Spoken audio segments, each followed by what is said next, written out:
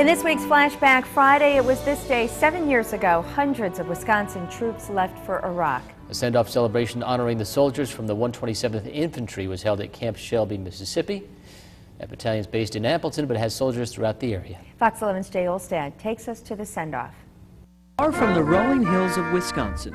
Smoke signs come from Mississippi. And even farther from the war-torn streets of Iraq stand 620 soldiers of the 2nd Battalion, 127th Infantry, who are ready for war. I know I speak for the nearly 6 million people in the state of Wisconsin whose pride in you can't be put into words.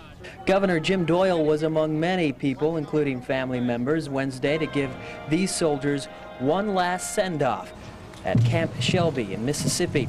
It is the place where these soldiers, most of whom are from northeast Wisconsin, have been trained for the last two months. A lot of excitement along with uh, know, just the unknown. Green Bay native 22-year-old Brian Edelmeyer isn't alone, though. His family drove down from Wisconsin to say goodbye one last time. I'm glad they came down for this. It's great to see him. Especially now, because his mother, Julie, knows where her son will be. Well, we'll miss him, but um, it's something that they, they have to do. It's going to be hard.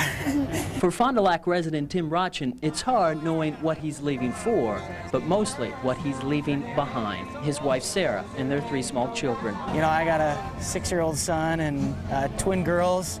Uh, and a lovely wife, obviously, that uh, we're just going to miss immensely. So for now, the hugs are a little tighter, the kisses a little sweeter. It is today's snapshot of a country at war.